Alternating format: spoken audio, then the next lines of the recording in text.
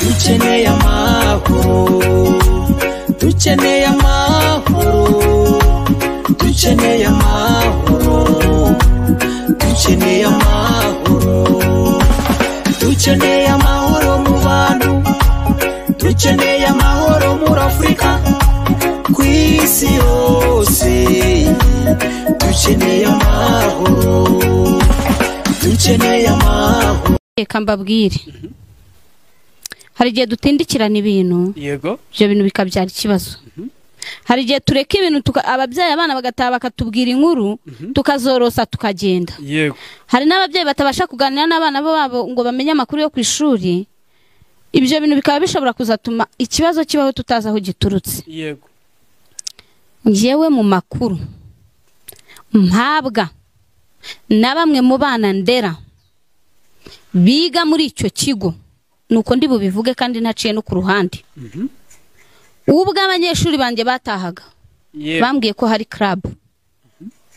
Ndababaza ntizihe club? Barambwira. Barambaza ngo none tujye mu yihe? Nk'abana ndera ntabwo baba bagomba gufata ikintu ngo bagifatire umwanzuro nta kintu nzi. Yego. Bambwiye club zose zihari ariko bambwira yuko hari imwe batemerewe kujyamo. Ndababaza ntiyihe ngo ARG ARG yego kubera iki? Ati ARG yacu ijyamo abanyeshuri bafite ababyeyi bacitse ku icumu. Ndabaza ntise uwabibabwiye nindi arambwira ngo twagiye kuri arusamburema umuntu araza arabitubwira. Yego. Ati twese abitubwiye twikanze tubyibazaho cyane. Ati ndetse atunga urutoki umwe mu bana bari aho kuri arusamburema aravuga ngo urugero nk'uyu.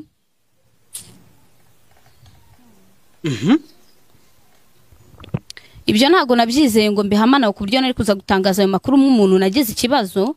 Nk'uko bahora badushishikariza ati "Bu- twese turi abanyarwanda twese turi abanyarwanda hari imiryango ishinzwe gufasha abo bantu ndetse n'izo ARG zirakwiye kuko hari ibyo tugomba kwigiramo tukanafashanyirizamo kuko n'ibikorwa by'urukundo biyiberamo. Ariko niba ibyo bintu bireba abo bana gusa ntabwo tubizi. Mm. ese koko njye nshaka kwibariza. Nk'uko bivugwa ayo makuru twayumvishe bibaye ari ukuri. Kandi koko ko nabyibarije n'abarezi b'abana bakambwira ko ari ukuri. Yego. Ibyo bintu koko birakwiye. Ese ibyo byose mwirirwa muvuga mutubwira ngo twirinde ibi twirinde ibi. Niba hari ikintu kigomba guhuriramo bamwe abandi ntibagihuriremo. Aho aho ibi bintu bigana ni hehe? Mutekereje neza mutubwire aho ibi bintu bigana. Niba hari umunyeshuri wemerewe kujya muri ibi bakanamutangaho urugero ngo urugero nk'uyu yamubwiwe n'iki yamurebeye kuki koko nk'uko twirirwa tubyigishwa tunabishishikariza abana tubabwira ati mwirinde ibi bintu. Niba ku ishuri bagerayo bamwe bagakora ibi abandi ntibabikore ibyo bintu ni ibiki? Hakabaye habaho koko abo bana gufashwa hakabaho no kwitabwaho ariko nanone ntibabigeze mu kigo. Kuko bariya abana baracyafite ubwonko buri hasi ntabwo baramenya ngo ese ibi n'ibi ibi n'ibi umwana arava hano amubwira ati twese turaba. Nagera ku ishuri bamubwiye ngo we ntiwemerewe kujyaho yego. Ibyo bintu ni ibiki? Radiyo umwe munsi turi kuwa kabiri tariki makumyabiri n'esheshatu z'ukwezi kwa cumi na kumwe umwaka wa bibiri na makumyabiri na kane.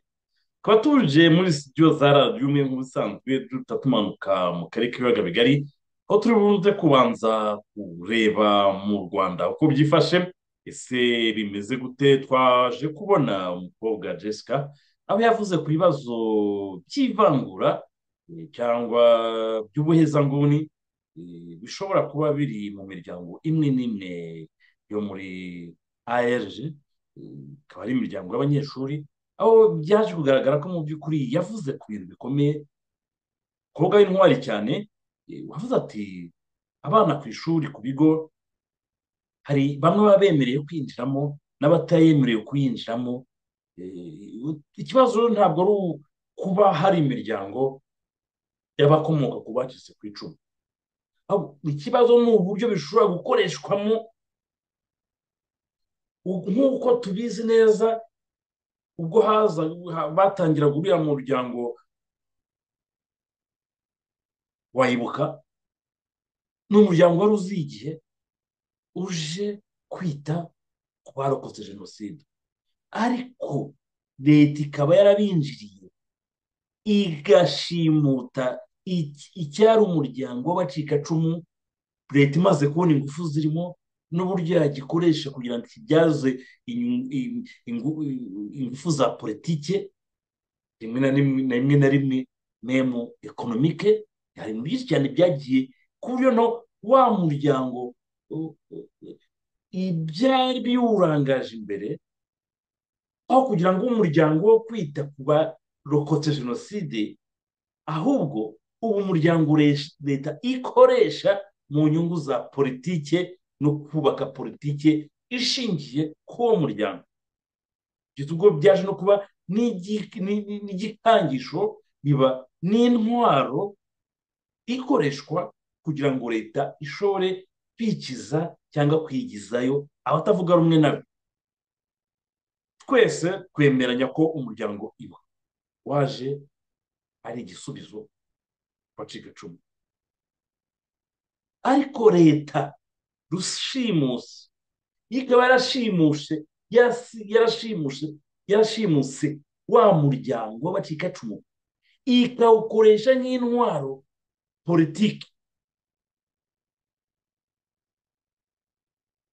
bubaka ingufu z'ubutegetsi icyari umuryango wo kwita ku bacikacumu ahubwo kiba intwaro leta ikoresha mu gucecekesha abantu leta ikoresha mu guhungeta abantu leta ikoresha mu kujya mu- muri ibi na biriya na biriya. Iyo uza kuba ari umuryango utarashimuswe na fpr uyu munsi wa none tuba twarabonye byinshi cyane wagejeje ku bacikacumu kuko ibibazo birimo twese turabizi. Hakaba haje noneho iki kibazo kindi noneho eh, cya jessica avuga ati abana ndera bagiye ku ishuri babwirwa ibintu ko batemerewe kwinjira muri areje ayeje umwana bamuha n'urugero bati nka bariya ntibemerewe. Ntabwo bavuga bariya ni bande? Kandi kuko iyi miryango ni ibibazo. Fpr ibeshya abantu ngo amoko nta kibazo niba wamuganiye umukobwa jessica navuga abana bakiri muri high school baba bakiri abana bagifite ubwonko bukura. Ibyo mubatemikamo iyo mu wese ngo bariya bo ntabwo bemerewe kwinjiramo. Bariya bo ntibemerewe kwinjiramo.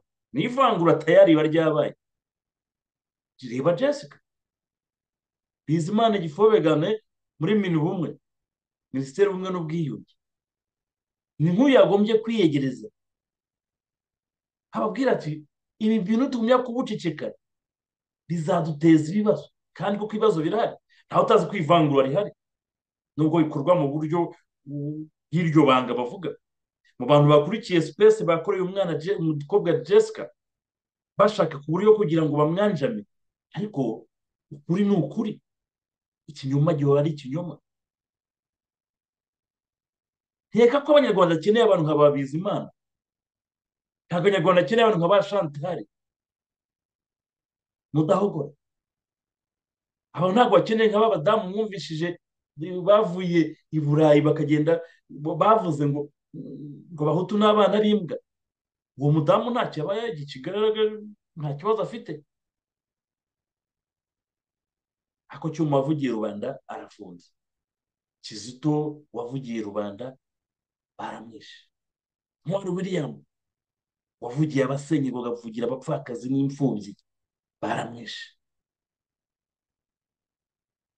Reba umubavu wavugiraga rubanda baramufunze twasira wanze zicishwa cyane cyane yuko we badashobora kujya muri iyo miryango y'abacikacumu kuko naho ababyeyi bari barokotse bishwe n'inkotanyi yari za bugesera. Ari mama we yagiye baramwica papa agiye kureba uko bimeze nawe bamukubita agafuni karasira nawe agiye kureba aho ababyeyi baheze agira imana umusirikare mugira urwara ati nuko byagenze va hano niba bakubwiye ngo utegereze nawe bagiye kugukubita agafuni. Nuko yarokotse. We ngo ntacyo ashobora kuvuga. Niyo mpamvu bamufunga. Kuko we ntabwo yemewe kujya muri iyo miryango yaje ntabwo yarabyemerewe bari kumubaza wiciwe nande? Niciwe na fpr vuga uvuye aho niyo mpamvu afunze nta kindi azira nkaba nakurikiranye nakurikirana iki kiganiro cya akakiripu k'uyu mukobwa jessica yavuze ibintu bikomeye cyane. Abanyarwanda batinzeho cyane uretse ibifobagane nabonye byamukoreye sipesi batumijemo na minisita noneho ikintu cyabaye ngo bagarutse bashaka kumuvuguruza. Minisita yaje yemeza ko ngo ahereje buri muntu wese wumva ibitekerezo byayo yayijyamo. Ngo ntabwo bavangura ntibagira gute? Ariko muri sipesi wumvije ko bavuga ngo ni ibanga ni abanyamuryango ku ishuri bafite akagurupe kabo babona n'inama zabo n'ibivugirwamo ni ibanga kuki biba ibanga? Kuba kwivugirwaho atari byiza? Kuki babigira ibanga? Bo bakamenyana. So ni ni bo kumenyana. No ibi harimo ikibazo bigishirizwaho ibiki niba bigira ibanga ni ibiki babigishirizayo ariko minisitiri yawe yaje muri sipesi we ngo ngo ngo ntabwo ariko biri ngo yereje umuntu wese wumva ibitekerezo byabo akabikunda yakwinjira mu muryango ariko ntabwo ariko biri umukobwa jessica yabwiye ati ngewe nagiye no ku ishuri ndababaza bambwira ko ari uko bimeze uyu munsi wa none kubera ko ubona ko fpr yatamaye abayobozi bakozwe n'isoni ubwo bakorera sipesi ngo baze kwerekana ko muhaherije rwose batavangura batagira ngo twese turabizi utwo turyango. Ariko kuba bikorerwa mu kigo cy'ishuri haba hateraniyemo abana benshi cyane ariko ntacyo babahije kagame yagiye mu bugesera abwira abana b'incuke ati mugomba kuzasaba imbabazi n'abo muzabyara n'abazabakomoka bagomba kuzasabira imbabazi z'ibyo ba sekuru na ba se bakoze. Kagame yabibwiwe abana b'urubyiruko bo muri segonderi abana bakiri bato. Kagame yarabivuze mu bugesera hariya. Ngo mugomba abwira abana bato bari munsi y'imyaka cumi n'itatu n'ine n'ingahe n'itanu gutyo n'itandatu ngo mugomba kuzasaba imbabazi. Ni ukuvuga ngo abo bahutu ngo bagomba kuzasaba imbabazi za ba se na ba sekuru. Noneho tukibara tuti ko karinga tuzi ibyayo ko ntawasabye kagame gusaba imbabazi. Ko karinga tuzi ibyayo abakomoka ku bashefu abakomoka ku bakibaba bandi bakubitaga kiboko. Bamwe bashahuraga abantu bagashyira kuri karinga ubwo abakanjogera n'ibiki byose. Abo bose basabwe gusaba imbabazi no hariho ushobora kubaka igihugu. Aho ukabona ko ahubwo ni cyo navugaga ngo n'izi za erije imiryango yo gufasha ku bakomoka ku barokotse jenoside. Ni imiryango myiza. Inakeneye n'izindi ngufu zitari abarokotse kuko bo bonyine ntabwo babikora bonyine. Bakeneye n'andi maboko. Ariko iyo batangiye kugira akantu k'abantu runaka ku ishuri bagira gutya ngo tuza duhura ku wa kane saa kumi n'ebyiri munsi ya kiriya giti sinye cyangwa pasiwodi yo kumenya ko inama igiye kuba wenda tuzajya tugenda tuzunguza ikaramu ahereje kumenyana ibi ntabwo ari byo. Kuko iyo utangiye kubaka agaserire mu kigo cy'ishuri harimo abanyeshuri muri ahereje kwinjiramo ubwo batoranya abinjiramo. Urumva ko hari abo bakubaza gushyira bakakwigaho neza baturiya uriya uriya ntabwo ari uwacu ntabwo ari uwacu ntabwo byagombye kugenda. Kuko bita solidarity ubumwe. Nk'uko bajya ngo renew fair force abo bana bakeneye gufashwa bakeneye sapoti ariko se iyo bateruye tuvuge ko harimo abana ijana mu bana ibihumbi bibiri bakajya bahura akagurupe kabo gusa. Niyo baba batarimo kuvuga ibintu bibi kubera ryabanga niba harimo imitongero n'ibiki bavugirayo kuko bishobora kuba atari byiza. Nabo bigira ibanga. Kandi mu bigo byose by'amashuri bakagira ukuntu bahura nyine habamo n'izo ndahiro zabo utanamenya wenda. Kuki babigira ibanga abandi ntekereza niba ari abana nk'ijana mu kigo ibihumbi bibiri. Ba bandi basigaye badashobora kujyamo bagira iyo cyo gushaka kumenya ni ibiki bivugirwayo. Ikigaragara cyo bishobora no kutaba byiza. Ese babigishirizaho ibiki cyangwa urwango babigishirizayo ivangura ibiki uhore duharangije gukora gutyo babavanguye kuri sipesi bakoreye jesica uyu minisitiri yaje avuga ngo ngo ngo buri wese yemerewe kujyamo ngo umuntu wese wumva akunze gahunda z'uwo muryango niko byagombye kugenda ariko se niko biri twese tubiziranyeho ko imiryango yakagombye kuba yaraje igomba gufasha abacikacumu n'ababakomokaho ahubwo noneho leta yo yabigize intwaro kirimbuzi mu kubaka ubuhangange bwa fpr gukanga gukangara kuvuga amahwemo abo bose batavuga rumwe na leta.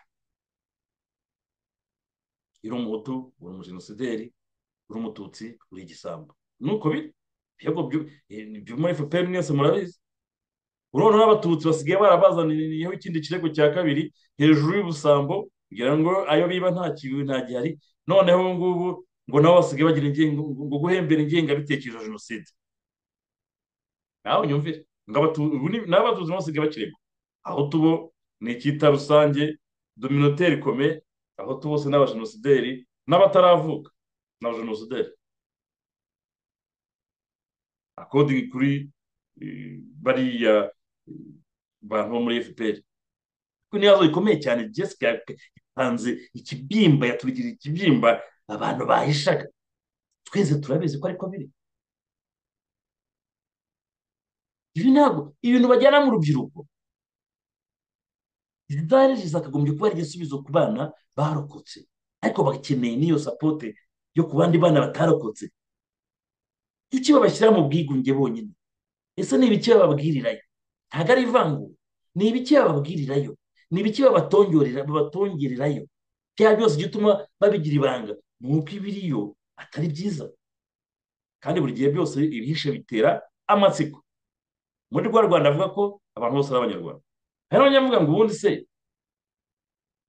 kwihakana ubwoko bimaze. Kagame na fpr yiwe iyo babeshye abanyarwanda ngo amoko ngo yavuyeho. Ntibishoboka kwivugira mu kwa kane amoko akagaruka. Jenoside yakorewe abatutsi. Nubwo batapfuye bonyine n'abahutu bapfuyemo benshi cyane.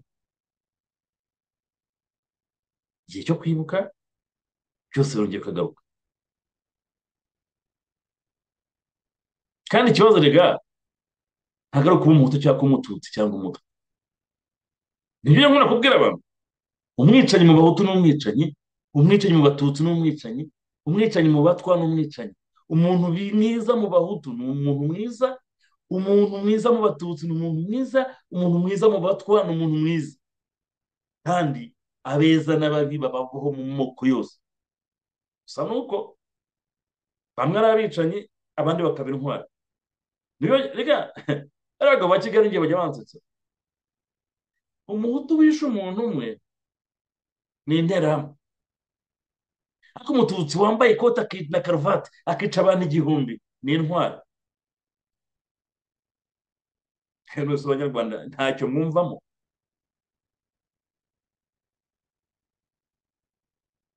Igice kimwe gikoze amakosa ni interahamwe ariko ikindi gikoze amakosa inshuro igihumbi bo ni intwari. Ibi ni byo bintu abanyarwanda bagomba kurenga aba bana ba jessica nabonye batangiye kumwanjama niba igihugu gikeneye. Kibaye twagiraga fasiti redi w'abanyarwanda atari pe fasiti redi w'ibifobagana yakagombye kureba uyu mwana w'umukobwa. Akwiriye n'ishimwe.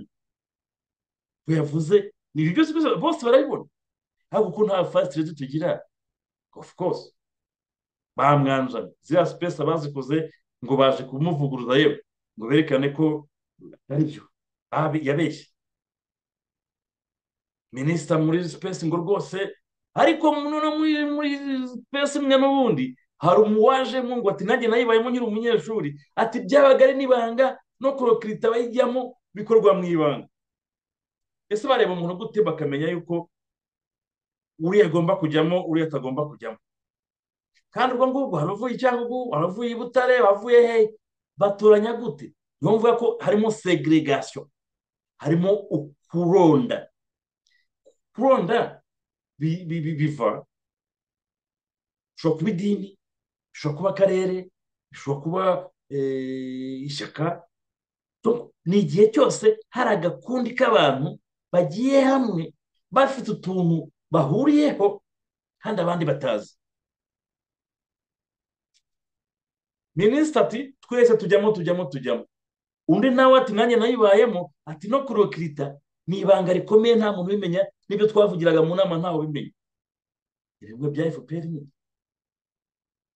ibyigishirizwamo ni ibiki? Nibyo biteye ubwoba. Banyarwanda nyarwandakazi.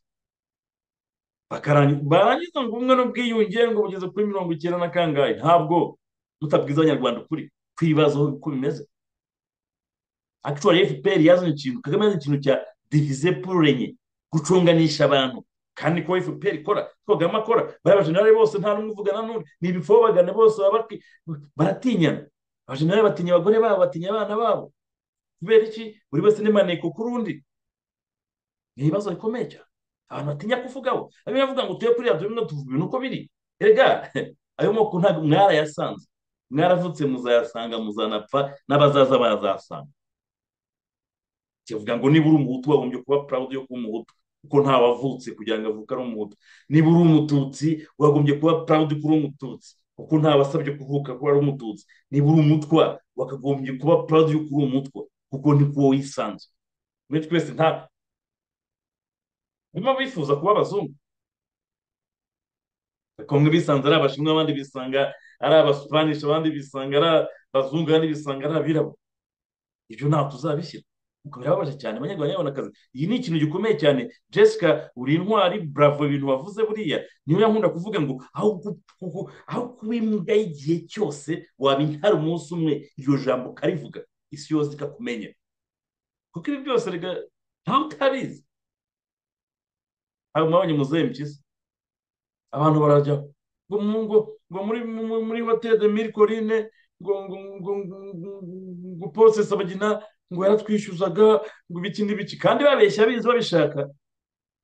Nabonye rero n'uwari premier ministre uh, uriya we yaranavuze ngo ngo ntabwo baryaga ngo bahage. Hmm. Mpyisi nawe yavuze ati mve ibyo bicucu ese ko mutagiye mu zindi hoteli ko zari zari muri kigali zitishyuzaga? Kuki yari hariya mwagiye usesa bagena yarari? Ntakabwiye ati ba ntibibuka kutibuka uwakugiriye neza.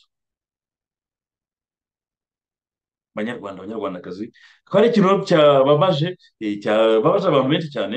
Uriya mwana w'umukobwa yavuze ibintu bikomeye cyane. Nkeka ko iyo nimba koko fast lady mu bita nyiramongi yaza kuba koko ari fast lady uriya mwana w'umukobwa yakamutumiye mu mbuto foundation ko yavuze ibintu bikomeye kandi ni bwo burwayi igihugu cyacu gifite. Iyo bapakiramo ibintu biriya bintu mu ngo zabo iyo bahurira muri utwo dutsiko twabo mu dukundi twabo ugasanga abantu bagendana ibintu mu mitima yabo. Ibyo byose rero we yamennye umuceri hasi. Jessica yamennye umuceri hasi ya- y'amatiku ya fpr yose yakubise hasi kwa kubeshya kwa bizimana minisita mu- muri muni bumwe yakubise hasi. Hamwe n'ubwiyunge buhari kubera yuko rega kizito ni cyo cyari byamuzanye ku ino si nta kindi yasize kubona ko agiye kubigeraho. Bo bari muri cya kintu cyo guteranya kugira ngo uyobore abantu. Abantu iyo umaze kubagonganyisha imitwe birakorohera kubayobora. Nibyo niko fpr ikora abanyarwanda. Akaba ari ibintu bigiye gukurikira tuguma tuzakurikirana ariko hari benshi bazavuga hari benshi bavuga bazagenda babivuga bahafata ku mavuta bariya murabona bariya bose nta kindi bazira. Ni ukuri kwambaye ubusa bavugisha. Niba nkunda kuvuga ngo nyarwanda nyarwandakazi muracecetse. Ikibi cyiza tukireba ariko twongere tubabwire ngo nyuma ya paul kagame na fpr yiwe dufitanye urubanza. Nkunda kubivuga.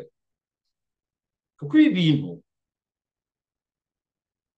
nibitavugwa ngo bihinduke. Ibifobagane bo eh, bemeye ko ari ibifobagane ari na cyo mpamvu mvuga ngo igihugu cyagurije cyane. Mu by'ukuri kigira abadepite batavugira rubanda kigira abasenateri batavugira rubanda banyarwanda. Ibi ntabwo bigomba guhagarara. Nimba ari ikintu bita ivangura segregation. Biri mu bantu bitwa ko bize. Ayo bamenya nkunda kwita ngo bakurira banyakurira ku muziro. Sinba utangiriye mu bana bakiri mu high school bigishijwe ko mu rwanda nta nta- nta bwoko mu marangamuntu ngo ari bandi umunyarwanda? Bahagera ku ishuri bati baribona ntabwo bemerewe kuba mu nama zacu. Iyo mugiye kwigu- kwigunga hariya ba bana basigara batekereza ese ni ibiki bivugaho? Nitwe bavuga se. Ibyo bapanga se bizatugira nk'ibyo byose. Kuko ibihishe byose bitera amakenga bitera no kwibaza. Akaba ariyo tumenya kureba kandi tumenya gushima uyu mukobwa jessica eh, wavugishije ukuri gukomeye cyane nubwo twabonye ko i kigali twabahungabanyije ariko nkeka ko intwari ziracyavuka intwari zizavuka kandi zizavuga hagati aho ngaho tuvuye kuri iki kibazo cya jessica kuri kwambaye ubusa tuzakumya gukurikirana developuma yayo ya eh, y'iyi mesaje yatanze nkeka ko ibifobagane basa naho batashoboye kuyidijera ariko nta kundi bagomba kuzamenya ko uko bizagenda kose kuri tuzamenyekana kuko kuri ni nk'amazi ntabwo ushobora gupfukirana kuri. Kuri ni nk'inkorora. Ntushobora guhisha ko urwaye inkorora. Ahubwo uhishe noneho ukorora cyane.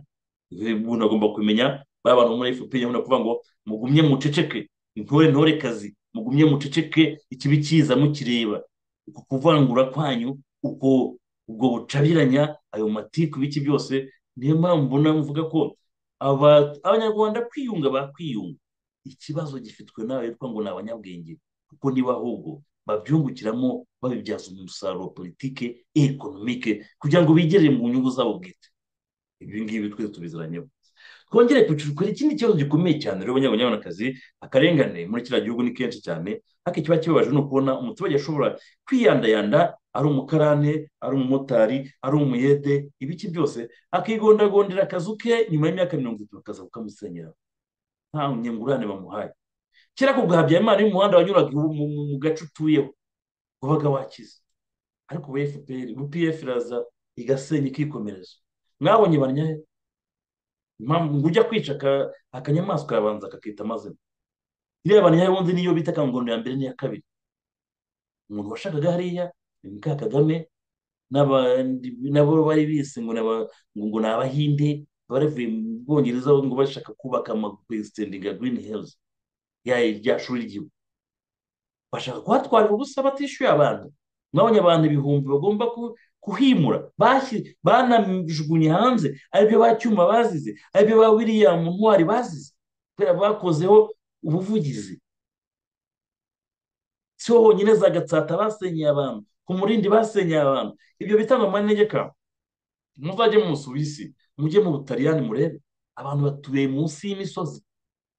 Ahubwo habaho uburyo bagomba abantu baturira inzuzi baturira ibiki?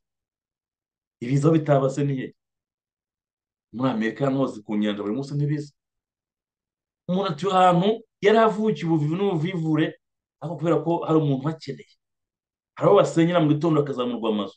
Ibintu bya FPR nababwiye ngo FPR yagaruye ubuhake. Igarura n'uburetwa. Ubona ko mu by'ukuri mu myaka iri imbere nta munyarwanda uzaba ufite ubutaka uretse bo mu gatsiko. Niko biri. Gukenesha abantu kubirukana tekereza nk'abantu bagiye nk'akangurwa ya mbere umuntu yubatse akazi kuva mu myaka makumyabiri kugera muri mirongo ine bakamusenyeho. Nta mbaga ikiza kuzajya kubaka abana bagiye mu muhanda urumva ukuntu FPR ishobora kuba ifite ubuntu bw'ubugome kandi igenda idisitorowinga cyangwa isenya abantu mu mutwe eh, mu buryo uh, bwa morali mu buryo emosiyoneri memu fizikari no gukenesha abantu ku buryo mu gihe runaka hari igice cy'abantu runaka kizasibangana. Reka nabwo ni ubundi bwicanyi. Kwicisha abantu ubukene. Abantu bakirya bakimara bakubaka mu hariya za kangura ya mbere n'iya kabiri ukabasenyera nta ngurane ubahaye ni ukubashyira mu bukene bw'akarande. Ubizi neza ko ari bo bazarwara bwaki nibo bataziga nibo batazasho ibi ni ibiri ubona ko bagenda bototera abakene. Banyarwanda mubona ko bagenda bototera abakene? Hmm?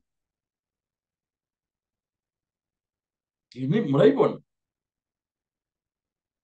bagenda batutira abakene murabibona barakomeje gusenyera abantu hari igice runaka cy'abanyarwanda bigaragara ko badashaka abakene muri kiriya gihugu ubundi iyo ufitiye ahantu kwimura abantu leta irabishyura bakagenda ariko bariya kagame yabwiye abantu ngo ahandi ho ngo bazana katapira ngo bagaterura ngo harimo n'abantu bakajya kujugunya mu gishanga. Rero rero kagame aho tuza wavuye nawe nubwo usigaye ufite indege eshatu utunze nka mirenge ku ntenyo winjiranye iki? Mu by'ukuri. Ubwo barakomeje bwo gusenyera abantu imisoro itabaho gukenesha abantu gutwara imitungo. Murabona ko ariyo gahunda y'uko abantu bahoze mu rwanda nta n'umwe ugomba kugira imitungo. Mwarayibonye hafi ya bose bakenesheje bamporanye baratwaye ba kajegoke karabaye ibyo kwa barwigara baratwaye ibyo kwa ba makuza finishi urabizi uko bimeze. Ubona ko abantu bahoze mu rwanda imitungo yabo bagomba kuyibavanaho uba umuhutu cyangwa umututsi fpr na paul kagame they don't care. Byakaba byose twarabibabwiye hariho no kubabwira ngo aho kuba imbwa wabimva kandi aho kuba imbwa igihe cyose waba intara umunsi umwe ese ko nta kuramba kudapfa utinya kuvuga ngo utazapfa uravuga ugapfa utavuga ugapfa akicyuta ikindi wapfa uvuga wapfa ugasiga ku- kuvuga kugi- kugenda ugize icyo uvuze. Abanyarwanda. Ibibazo ni imiborogo ubukene ngaho bumaze kuba bwinshi fpr na yo ikomeje kunyunyuza rubanda dore ko hariya kagame anyunyuza hariya ba meya bakanyunyuza hariya ba mutwara sibo bakanyunyuza harya mo hasi nyine. Muri fpr ni uruhererekane kandi nanone ugiye kureba. Ni abantu bamwe baziranye bakomoka hamwe b'inshuti. Iyo myanya myiza yose bavomeramo bakamuriramo rubanda ni bande baba ba gitifu? Ni ba bandi b'indobanure kandi bazwi? Ni bande baba ba meya? Hari impamvu baba bagukiza hariya? Ni bande bari mu myanya myiza iyo yose ibamo amafaranga yibirwamo amafaranga? Ni abantu bamwe. Niyo mpamvu ubona ari imiryango imwe izamuka ushobora kugenda ukagera ahantu nk'hariya eh, za nyarutarama. Igipangu cya mbere cya kabiri ugasanga ni abantu b'intoranye gusa. Baziranye. Rero ntabwo bibaho.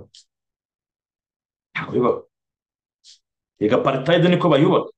Paritayide ni agace k'abantu bakeya. Rimwe kabiri gatatu icumi ku ijana.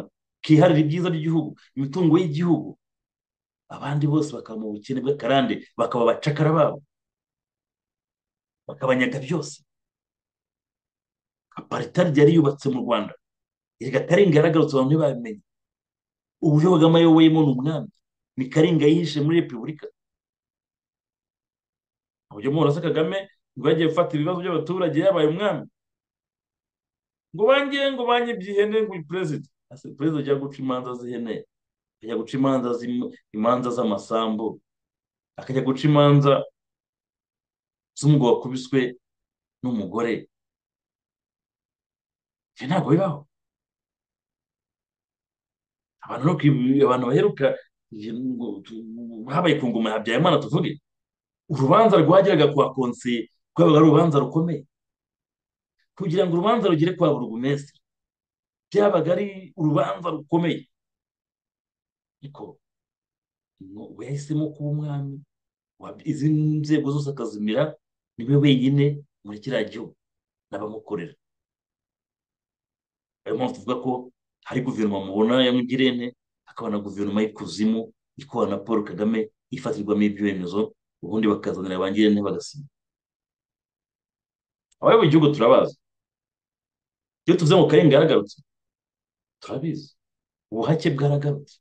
Abantu bagomba guhabwa kugira ngo bagire icyo babona. Ahantu bagomba gucabirizwa kugira ngo bagire icyo babona. Abajenerali bagomba guhinduka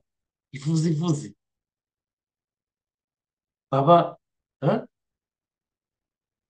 aho uyu yareguye uyu jenerali akayiguriye akone akayiguriye amajoro akayiguriye umuboyi akarega muyaya mu- he- aho umuntu wese ubona ari maneko mu gihugu abantu bose ari bamaneko hagati yabo hagati yabo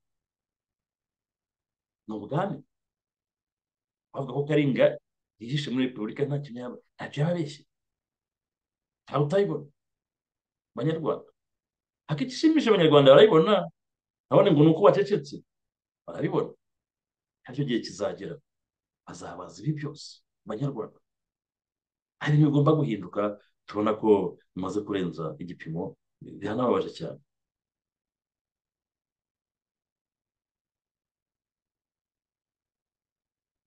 Ibintu bibabaje cyane.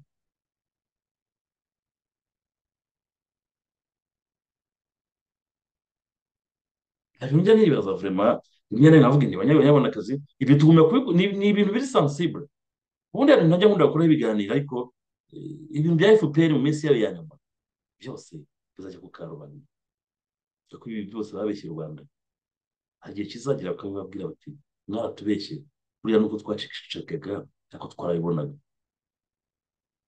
Kandi urebye inzara mu gihugu nta kuntu byose bitazaturika tuzayibona. Hagati aho ngaho tusimbukiye muri Congo intambara zirakomeje aho rwose turimo turabibona muri Rubero RDF M makumyabiri na gatatu ikomeje guhura n'urw- n'urwo Nyinabizuru yahuye na byo ku mugezi. Turimo turareba muri za masisi hariya ariko cyane cyane muri Rubero eh, RDF makumyabiri na gatatu bakaba babangamiwe cyane n'ingabo z'abarundi na bazalendo aho bavumbuye amayeri yose bakoresha tactique z'ubunyeshyamba bakoresha ku buryo bagiye baha akazi gakomeye cyane aho RDF makumyabiri na gatatu barimo bagenda batsinzwe muri ku buryo bugaragara. Ariko twagaruka muri Masisi naho bari bamaze iminsi bashaka kugerageza hariya hafi ya eh, ya Sake naho bakaba baragiye bakubitwa cyane bigenda bigaragara cyane ubwo bagenda bakagaruka. FPR murayizi eh, RDF murayizi ndetse yo iri kubitiwe ahantu irongera ikongera ikagaruka.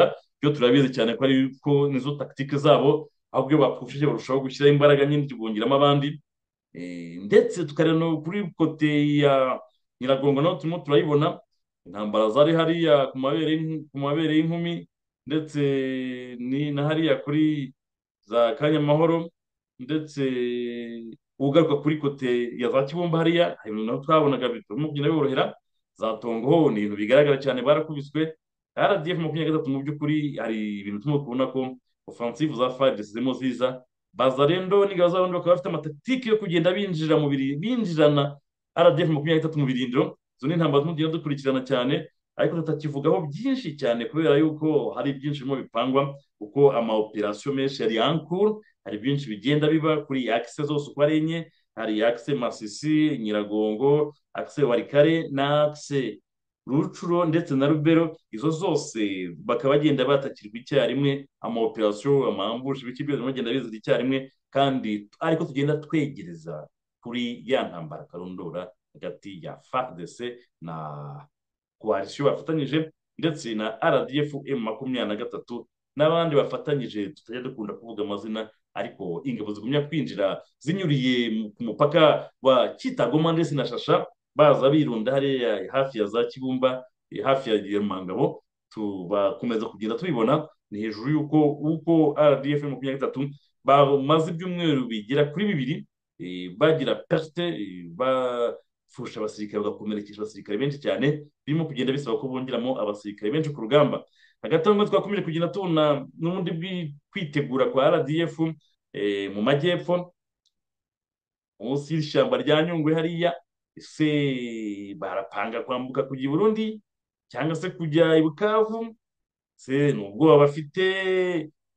Hari ibintu bitagaragara ariko ingabo zirimo zigaragara hariya ariko baragerageje gushaka kwinjira muri za Bukavu hariya ngo ba- bajye mu za Minembwe hariya byananiranye kubera ko sentire y'Abarundi ingabo z'u Burundi kuva ku kiriya gice cya Sud abandi bakaba bakontorora cyane. Byumvikana na FARDC ibi ni bimwe tugenda dukurikirana muri joro politike uko ibintu bigenda bizamuka ibi byose kuri radiyo imwe twarabibabwiye nta kimwe mwasigaye inyuma abantu babanye na radiyo umwe murabizi neza ko ku bijyanye n'intambara yo muri congo rwose ibitabo bizandikwa ni byinshi cyane abakurikiranye radiyo ubumwe nta kintu twagiye tubahisha ni intambara tugenda dukurikirana ko ku rugamba tuba turiyo gatanu kuri gatanu uko biba byaramutse n'uko byiriwe ntabwo nshobora kuza ngo turiho kareta n'aha n'aha n'aha ngaha barwanya aha byagenze gutya n'aha fpr yabuze yabuze aha ngaha yabuze aha n'aha n'aha aho barwaniye hariya na hariya ni henshi cyane kuko za gisi zigira kuri eshanu zose harimo ama operasiyo bucece arimo kugenda aba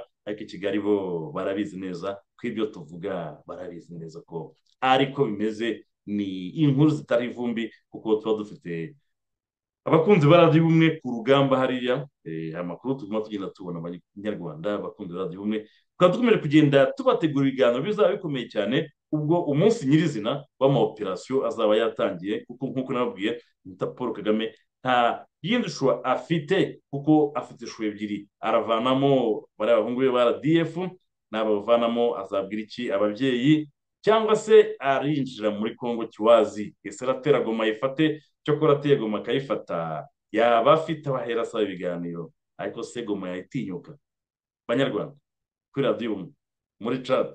Ndababajije ikibazo kimwe.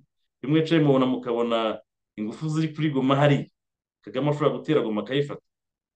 Ntabwo byaba bitaniye. No kwiyahura kuko iyi ntambara imaze kuhakositinga byinshi cyane.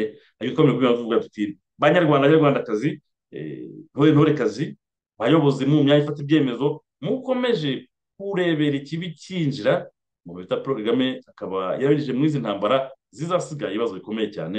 Ubu ngubu buri munsi nkunda kugenda mbivuga navuze ngo banyarwanda abanyarwandakazi iki kintu mwicare mukizi nyuma y'ibi byose nyuma y'izi ntambara paul kagame na fpr dufitanye urubanza. Badepite basenateri mudakoma ikibi kikaza mukireba dufitanye urubanza. Banyarwanda mushishoze kandi fpr ntizabashyire mu mabi yayo kuko mu by'ipanga ishobora kuzongera kureka igihugu banyarwanda mutekereze mumenye ko nyuma ya paul kagame na fpr yiwe u rwanda n'abanyarwanda bizahoraho. Kagame na fpr bazagenda ariko u rwanda n'abanyarwanda bizahoraho. Twongere kubana n'abaturanyi tubane n'abakongomani tubane n'abarundi tubane neza n'abatanzaniya tubane neza n'abaganda. Ibi byose nta kindi bizasaba bizasaba abazasimbura ingoma ya paul kagame na fpr kuzagira politike y'ububanyi n'amahanga. Apana iyi politike ya paul kagame y'ububanyi n'amahanga. Aho imipaka ifunze hose. Ariko ibi byose bikaba biri mu byerekeza ku iherezo. Nk'ibisanzwe rero mwari kumwe nanjye francois mutuyemungu ku buvuzi bwa radiyo ubumwe mujye mwiga gukora subscribe share and like kandi ntukibagirwe gusiga komanteri kugira ngo tujye tumenya uko ikiganiro muba mwacyumvishije n'ibyo muba mukeneye ko tuvugaho cyane. Murakoze rero naho utaha kandi turabakunda cyane.